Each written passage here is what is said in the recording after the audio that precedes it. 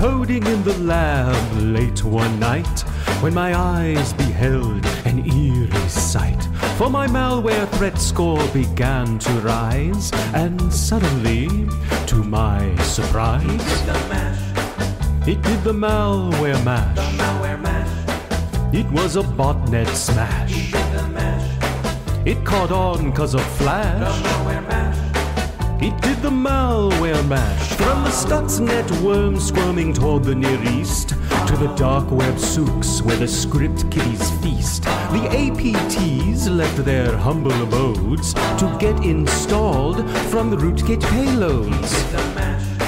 They did the malware mash.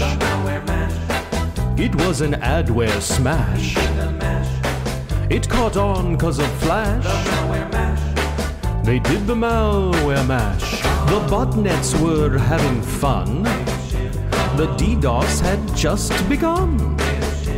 The viruses hit the darknet with ransomware yet to come. The keys were logging phishing emails abound. Snowden on chains backed by his Russian hounds. The shadow brokers were about to arrive with their vocal group, the Not Petya Five. They played the malware mash. It was a botnet smash.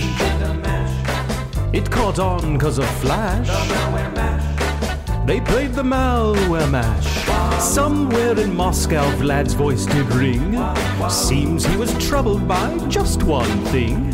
He opened a shell, then shook his fist and said, Whatever happened to my Turtle Trojan twist? It's now the mash, It's now the malware mash, malware mash. and it's a botnet smash. It's now the mash, It caught on cause of Flash. It's now the malware mash. Now everything's cool, Vlad's a part of the band. And the malware mash is the hit of the land. For you defenders, this mash was meant to, when you get to my door, tell them Creeper sent you. Then you can mash, Then you can malware mash malware mash. and be a botnet smash. Mash, Don't you dare download Flash. Just do the malware mash.